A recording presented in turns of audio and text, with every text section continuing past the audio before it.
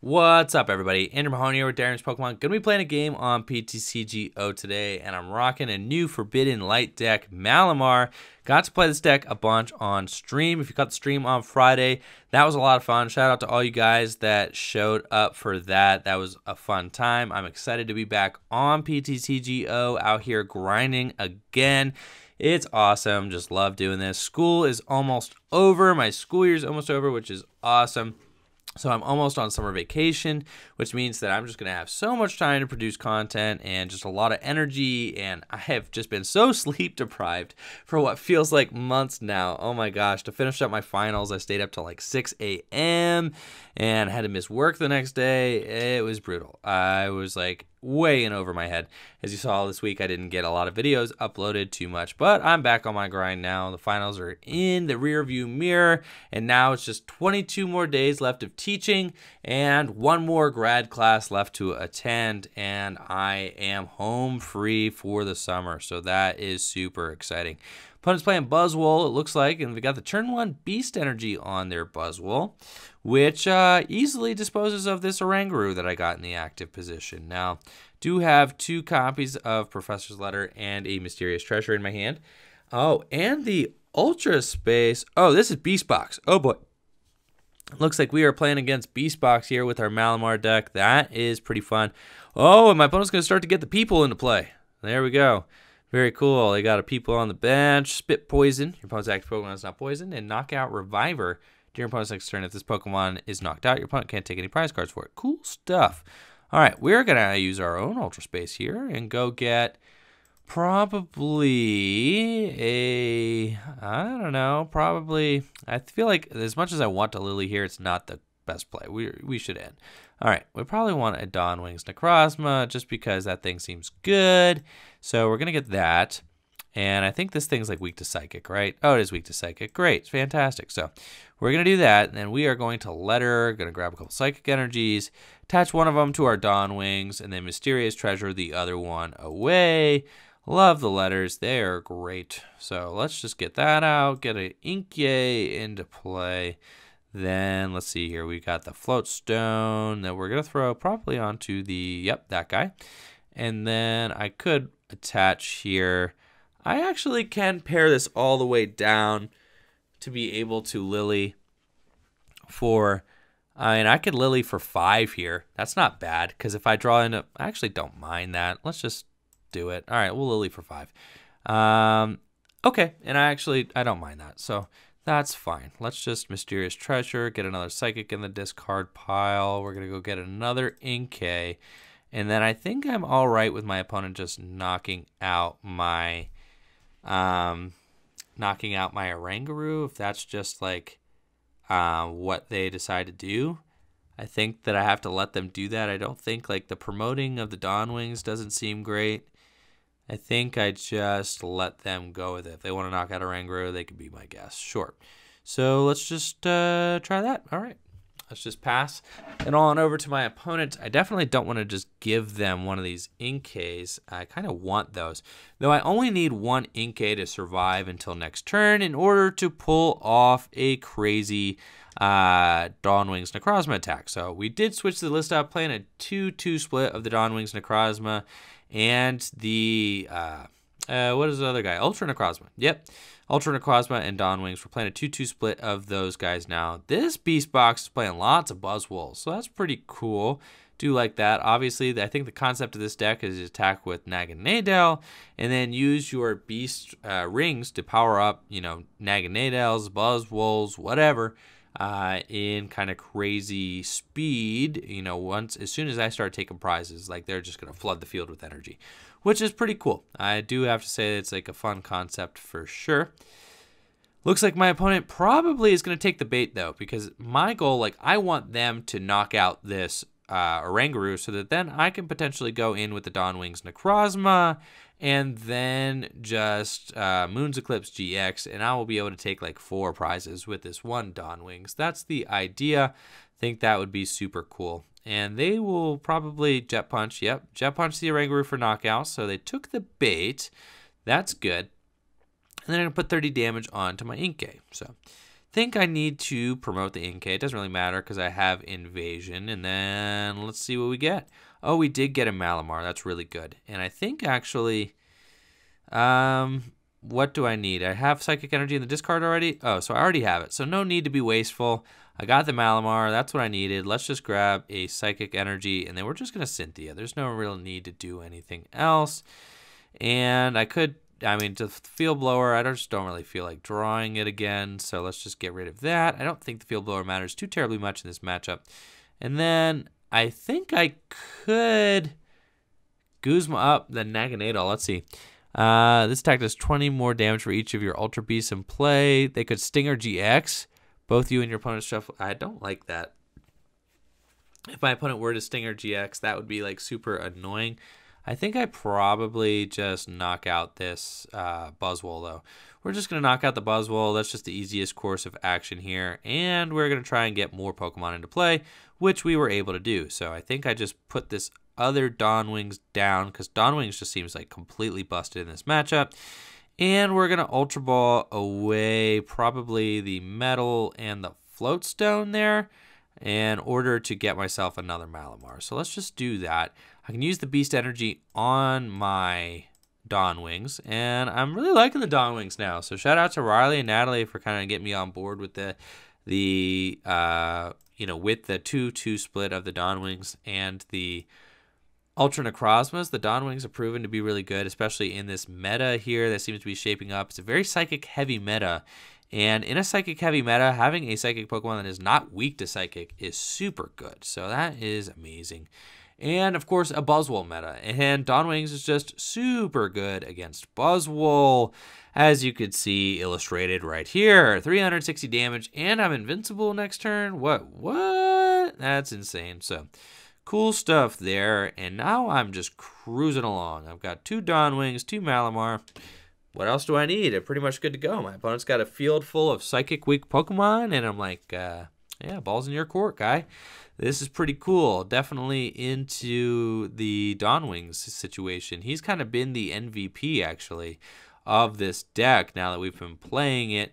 And I do like that even though we're only playing the two Ultra Necrozmas, who I thought was going to be a much bigger player in the deck, I'm realizing it's more of a Dawn Wings deck. I mean, just because Psychic is really good right now, you want the Dawn Wings for a lot of things. And really, you only really use the uh, Ultra Necrozma for Zoroarks, for like Greninja GXs if you were to play against any of those, which I haven't seen one on PTCGO yet. Or if you're playing against like Gardy, something like that. Just those awkward things with more than like 200 hit points, you're going to be using that, or awkward things that are not weak to psychic. But most of the meta is weak to Psychic right now. So I'm really, really digging the Dawn Wings. And then, of course, they kind of cover each other's weaknesses really well, too, because Dawn Wings is weak to Dark, but the Ultra Necrozma kind of deals with the Zoroark matchup. So you don't really have to rely on him too much there.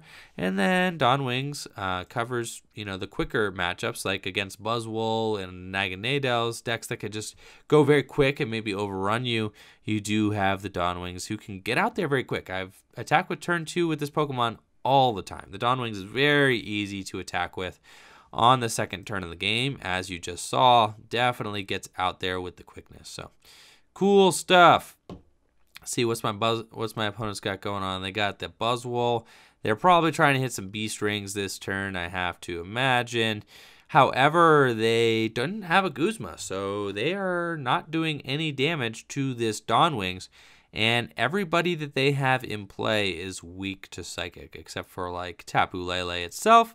So feeling pretty good there about that. That is, you know, definitely not bad at all for me. I mean, that GX attack is just totally nuts. Moon's Eclipse GX, just being able to take real big command of the pace of the game, getting out here, take when you take two prizes and make yourself invincible for a turn it's just so good. And there are so many things that that attack just hits for weakness and making it just an incredible attack to may, you know, really take a commanding lead with that. So just going to do 30 damage to my Malamar. All right, I don't mind that at all. Let's just throw this beast energy here. And I think we're just going to, yeah, field blower both of these guys. I think my opponent is going to probably Stinger GX me if I had to guess. That's like super annoying, but I think I just have to clear the field of energy here. I just like have to do it. I can't not do it. So I think they will Stinger GX me. I don't love it, but there's not really another option. And I think I also might want to go get my Lunala Prism. Like Lunala Prism could be super good in this matchup as well, but I think I'm going to wait one more turn, kind of see what my opponent does. I can't accelerate any more right now, so let's just go ahead and Dark Flash. So even though my opponent is losing by a lot, they will be able to Stinger GX and set us both to three prizes. So they effectively take a prize away from me, uh, and they take two prizes themselves. So that's like a big swing for them. However, when they do Stinger GX, I will just be able to knock out that Naganadel, that Stinger GX, and just you know go down to one prize, and they have three. So I still keep a commanding lead of the game. Um, and actually, it looks like they might be trying to, I don't know, they promoted this Buzzwole. I don't know exactly what they're going for here. So let's see. The thing, the bad part about Stinger GX is they don't actually improve their board position if they do Stinger GX. They just kind of allow me to, okay, maybe they're like trying to create even more of like a rope a dope with Stinger GX here. But like I said, they don't actually improve their board position at all. Hmm. You see, I only got two prizes remaining. I could, um, I could go in and just like try to hypnosis them. Like I don't really care to just, uh, it's fine. I feel like it doesn't really matter if they're just gonna Stinger GX me. Like it doesn't matter what I do. I kind of just have to find a Guzma here. So I feel like hypnosis is like a fine play to be honest, because that way it's just like, all right, if you're gonna Stinger GX me, just like come and Stinger GX me. You know what I mean? Like just just just go ahead and do it. Uh, either way, I'm content just like sitting here waiting to top deck a Guzma for game, which I will just do if I if I'm able to draw the cards. So if I can get like a Lele or something like that, I would rather not give my opponent the free switch out of knocking out this Buzzwole because then I just invite the Stinger GX up. Clearly, my opponent's trying to bide some time and stall so that they get the biggest swing out of their Stinger GX. That's what they want. So I'm not going to give that to them outright. Eventually, they'll probably get the Stinger GX, but it's better for me to make them work for it. And there they, they go. They are going to Guzma and then Stinger GX in the same turn. It's great play because if they were able to stick me there, then they'd be able to put us both to three prizes and then take an additional prize, right? Which would be cool. But I have myself a uh, a float stone, so that's really good. Let's uh let's see here. I think there's probably no point in really doing too much over here. Got tons of juice in my deck. I just need to draw it. So I think I and I could get this Ultra Necrozma out of my deck. There's no real point in doing that. My opponent doesn't have any fairy Pokemon or anything like that. I think like I probably just want to save my bench space for the Lunala, but they'll probably take a prize next turn. So let's just do this just to thin the deck a little bit. I'm just going to get the Ultra Necrozma to just... oh, I thought it went straight to my bench. That's great. Then that's definitely the correct play. I thought it went straight to my bench. I wanted to save room for this Lunala Prism, but I think I'm just going to Field Blower there. Ultra Stadium. Yep and then get my own float stone down here. And then let's just go knock out. Oh, I can invasion. Uh, I didn't even, yeah, I didn't need to put that float stone down. We could have invasion the whole time. I wasn't really thinking on that level. I was spaced out. And I'm still trying to learn how to use all this stuff. So this thing is weak to psychic, right? Like I'm not tripping. Yeah, it's definitely weak to psychic. So I think I can bench that. I kind of like that. And then let's just dark flash. Okay, go down to one prize remaining. My opponent's got three prizes remaining too. Oh, that's weird how they went out. Just boom, boom, boom. All right. So we are back down to one prize here. Yep, Psychic and another Ultra Necrozma that I don't need because Dawn Wings is proven to be the MVP of this deck, low-key, which I did not see coming at first. That is pretty cool. Dawn Wings is that guy. Awesome stuff. Or that girl. Or that lady. That dude, I should say. Is that person. Dawn Wings, that Pokemon. Awesome, awesome stuff. Look at Dawn Wings. Sweet looking card. I got my Rainbow Rare one. That is an awesome looking card as well. This card is definitely starting to grow on me. So let's see what my opponent's got. Uh, they're going to Sycamore. I don't think that there's much they can do here. I'm not no longer at the three prizes remaining, so their Beast Rings aren't working.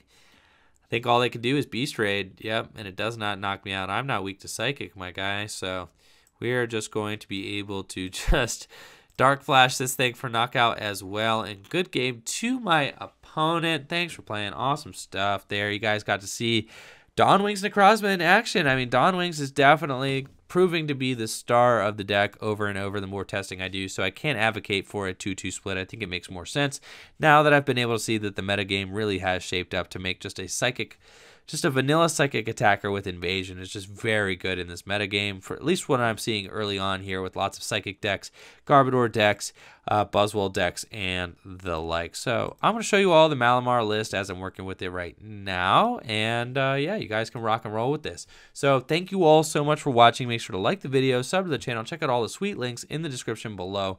Peace.